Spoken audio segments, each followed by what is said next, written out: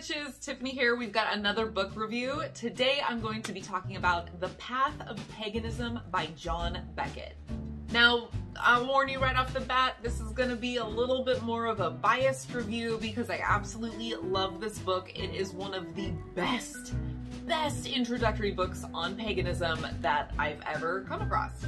I'm kind of pissed I didn't come across it sooner on my own path this is it's gonna be my new like go-to recommendation book when people are like hey i'm thinking about paganism. What should i read?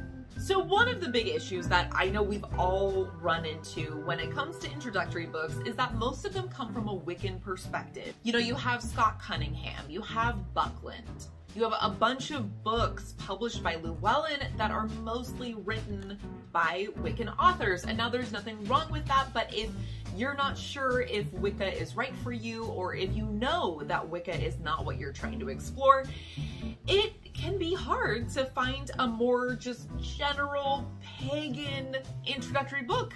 It also sets this precedent that, you know, especially for those who are very brand brand new and don't know the differences, it set this sets this precedent that Wiccan rules or the Wiccan tradition equals pagan rules or the pagan tradition there was a lot of things when I started my path that I was doing that I thought this is a pagan thing, and it turned out, no, this is a Wiccan thing.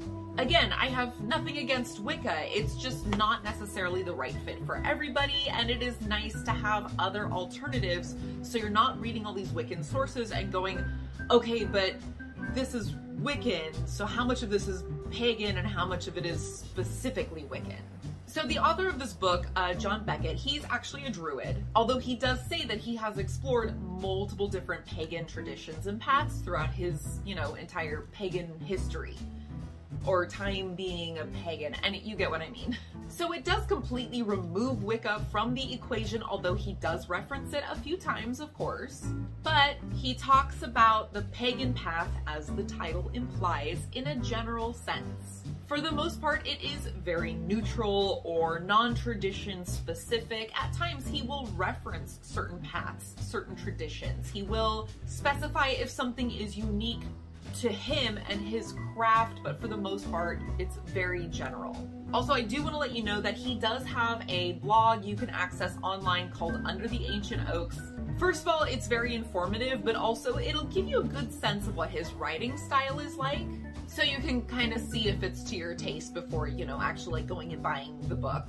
I didn't see it too often, but I did catch a couple of reviews that were saying like, oh, it's too dense, his writing style's not for me. Personally, I enjoyed his writing style. It was casual, but not too casual, and I didn't find the book dense whatsoever. But you know, it's like to each their own. It's a it's a very subjective thing. The paperback book is 336 pages. Um, it, it's a good read, but it's not this like crazy, overwhelming length but it's not one of those ones that I'll tell you like, oh, I read it in like an afternoon. I didn't. It took me longer than that.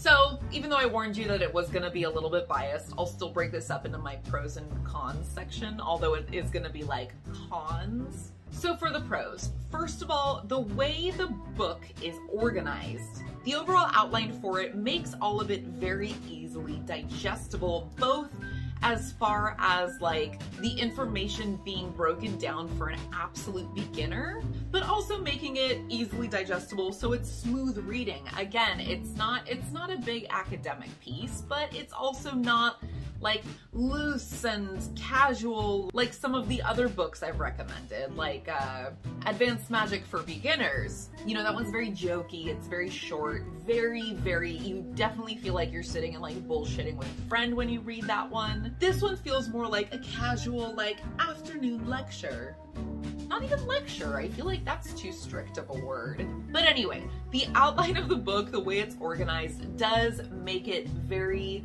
clear. He unfolds things at a decent pace and at, a, at an appropriate pace for, again, someone who's either an absolute beginner or somebody who does have a little bit of experience under their belt.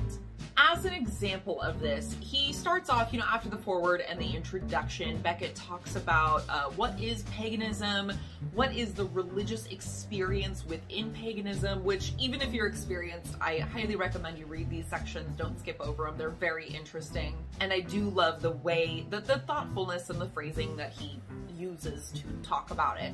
But then he talks about the different types of paganism. And now he's not talking about specific traditions, practices, or pagan religions, but more what he calls the big tent of paganism. And I love this because he breaks it down into these four sections. That's nature-centered, self-centered, deity-centered, and community-centered. And he, there's actually like a this complex Venn diagram in the book that shows like a lot of these overlap. The, okay, now the thing I love about this, um, I know I'm kind of getting sidetracked with my point about how the book is organized, but the thing I love about this is he doesn't just talk about, well, there's Wicca, and well, there's heathenry, and there's this and that, and all the. No, he's instead talking about how an individual goes about practicing paganism. Like yes, you can look at this this Venn diagram and apply it to a specific tradition or a specific path, but you can also look at it and see how it applies to your individual path because everybody's exploration into paganism, everybody's practice of paganism is different. And everybody's practice also evolves and changes over time. So like for a long time, my practice, like the circle that is deity centered, would I wouldn't even touch on that circle for the first what like four or five years of my practice. But now it is seeping in there a little bit. My it, my practice is evolving and changing. My spirituality is evolving and changing. And so I love that this is the way that he chooses to break this down. You can look at it from the perspective of a, you know, very specific individual pagan as opposed to a pagan who is a practitioner of fill in the blank. It's no, it's you specifically. Because even within specific traditions, no two practitioners are going to be the same. Like, no two Wiccans are going to have the exact same practice. So, I hope that made sense. I don't know if my rambling did. So, anyway, back to my point about the outline of the book. Yes, he starts off with the introduction and what is paganism? What does it mean to be a pagan um, as a religious practice? Um, or observance. What does it mean to be a pagan in a contemporary world? And how do we break down an individual's pagan views, pagan beliefs, pagan practices, so you, as a new pagan, can discover and flourish. Again, I don't know if I'm making sense. Anyway, he does all that before he then, of course, break down, breaks down what does it mean to be nature-centered? What does it mean to be deity-centered? How do you work with a deity? You know, he goes into all of that. Another pro is that at the end of each section, he asks questions. These are really, really good for helping someone find their place in paganism, especially when you have so much info and so many paths floating around or like coming at you with every Google search you do. The questions he, he asks really help you start to narrow down your specific practice. What interests you? What speaks to you? What do you want to apply to your practice? And what do you want to maybe set aside for later or just kind of discard entirely? With these questions, he basically helps you discover what your paganism is, what your own unique style of paganism is. He also provides exercises that pretty much do the same thing and help you maybe dabble in certain areas where you're not sure if it interests you or not. Maybe you don't want to commit to deity yet, but like you want to kind of reach out, communicate with someone, and just dip your toe in and, and see what's going on there. With that said, that's another reason why this book isn't just for beginners necessarily. But like I said, all of us, our paths, our practices are always changing and growing. So if you have an area that you never really explored, but now it's starting to speak to you, it's starting to intrigue you, and you do want to explore it, there's probably a section in this book for you.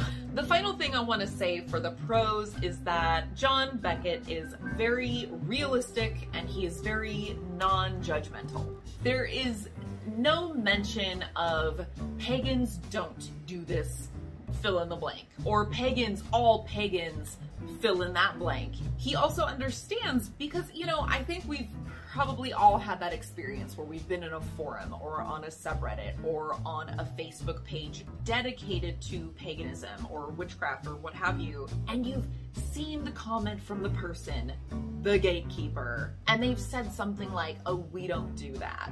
Or if you were a real pagan, you would be a vegan, or you would never shop here or you would never live in the city or I don't know whatever. You know there's there's people out there like that, but he really goes the extra mile by straight out saying you don't have to be ashamed if you if there's something you just can't do. So one example of this is the section where he talks about living by your own values.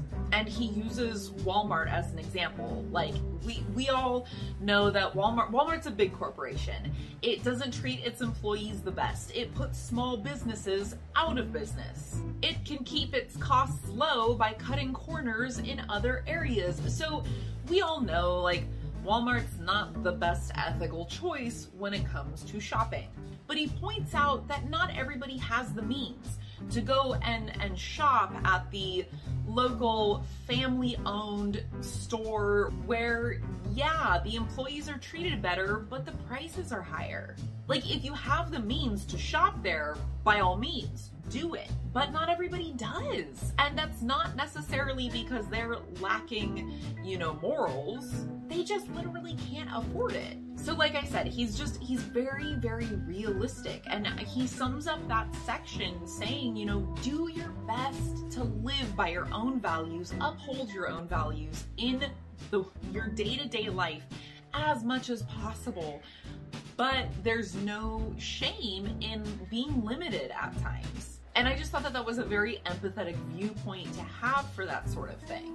And, and much more realistic. Okay, so here are the cons that are like, more like cons, like they're not really cons, but I, I figured I have to put something in this section so it's not just like all praise. So I did see some reviews of people saying that the book was kind of preachy and judgmental, which personally I did not agree with those reviews, but you know, it's a subjective opinion, so you might agree with those reviews and not mine. I, I just, I'm throwing it out there. The other, another one is that I did say that, yeah, if you're more experienced, you might get something out of this, but keep in mind for the most part, this is very much a beginner's book. That doesn't make it a bad thing. Again, it's like a con, but not a con. I know, I'm really like grasping at straws here. but to be honest, you know, me reading it now, I didn't get a whole lot out of it that I didn't already know. I still found it to be a very refreshing read and I found it to be a, a, an enjoyable read, but I didn't really learn a whole lot out of it, but that's only because of where I'm at in my path. He, there's still a ton of valuable information in there. I just already knew it all. and like I said, I wish I had found this earlier in my journey because it would have saved me a lot of time and a lot of confusion on Google. So it's also definitely an overview, which again, not really a bad thing. But if you're looking so I mentioned uh, there's the section about working with deity. Well, if you're looking for like more information about specific pantheons or a specific god, specific goddess, specific mythology, this is in the book with that. You know, if you're looking to discover more about a specific tradition or path, this isn't the book for that. But it definitely will help you set up your own strong pagan foundation, which you need before you start branching off into these more specific areas if you go into paganism with you know, not a whole lot of knowledge and not really sure where you want to start. And just in general, like I said, it's an overview, so it will give you kind of a taste of what these different areas are about. So going back to working with deity. The book will help you start exploring those areas with exercises and it will explain to you uh, what it's like to work with a patron deity, but it won't say like, if you're interested in this, research this god. If you're interested in that, research this goddess or that pantheon or that culture. Like it doesn't go into any of that. Again, not really a con, but more of just a heads up. But yeah, my bias is completely showing with this one. I really, really enjoyed this book and I highly recommend it. So the link for it is down below in the description box. That's it for today, witches. Let me know your thoughts on this book if you've already read it yourself, whether you agree or disagree. If you agree, give me that thumbs up. And if you're like, no, this book was terrible and you're wrong, give me the thumbs down. If you've already read the book, leave a comment below and let me know what your favorite part was. But that is all for now, witches. Enjoy the rest of your week. I will see you on Sunday.